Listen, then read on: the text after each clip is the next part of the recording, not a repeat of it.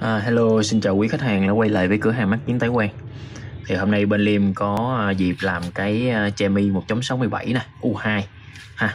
Thì uh, Liêm làm xong cái đem bà ráp vô cái kính này luôn rồi. Nhưng mà Liêm muốn quay lại cho mọi người xem về cái độ mỏng của cái uh, cái uh, trồng kính. Đó mà bên Liêm làm vào. Thì cái độ của cái uh, độ này là một bên là 8 độ rưỡi nè Và một bên là 7 độ rưỡi ha. Cận 7 độ rưỡi, một bên là cận 8 độ rưỡi đó, thì liêm ráp vào cái gọng kính này rồi. Gọng kính này rất là đẹp nha. Đó, nhựa chất thì rất là ok. Đó, có cây cốt thép ở trong. Nhìn rất là rất là cứng cáp nha. Đó. thì đây là cái thành quả mà bên liêm đã ráp vào cái gọng kính nha. Đó. gọng kính thì cái form này nó bự. Đó, bự thì mọi người có biết là khi cái vòng form nó bự thì ra cái chồng nó cũng sẽ dày hơn. Nhưng mà bên liêm cũng cố gắng làm rất là mỏng cho khách hàng ha. Đó. Đó bên đây là 8 độ rưỡi nè bên này 7 độ rưỡi. Ha mọi người nhìn trực diện thì rất là mỏng ha. Đó mỏng ha rất là ổn áp. Mình không thấy được cái độ dày của cái trồng kính rất là nhiều. Ha mọi người nhìn từ trên xuống dưới nè. Nó đi quay cận cảnh đây mọi người xem ha. Đó. đây. Đó.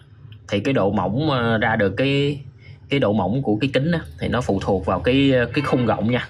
Cái khung mà càng to thì mình phải lấy tới cái biên đó thì nó sẽ càng dày ha. Nhớ và hai là cái độ ờ, cái độ chuẩn xác canh chỉnh của cái người thợ nữa thì nó mới ra được cái một cái kính nó rất là đẹp ha. Liên quay cái uh, bi mọi người coi ha liên quay cận cảnh luôn. Đây ha đây, mọi người để cho mọi người thấy được cái ờ, cái được ờ, một cái chồng 8 độ rưỡi 7 độ rưỡi khi mà mình ráp vào một cái rộng nó rộng như rộng ha. À, mọi người coi cái xay rộng cái size rộng nè. Đó, số 59 nha. Đó, cái này là size to ha. Đó. nên rất là ok rồi.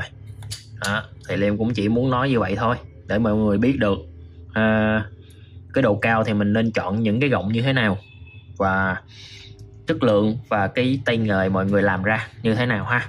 Đó, nó phụ thuộc rất nhiều để ra được một cái kính nó thẩm mỹ. Thì làm kính cũng giống như làm nha hoặc là mình làm cái gì. Đó, tay nghề càng cao thì mình sẽ ra được những cái kính mà nó có chất lượng canh chỉnh sao cho nó hợp lý.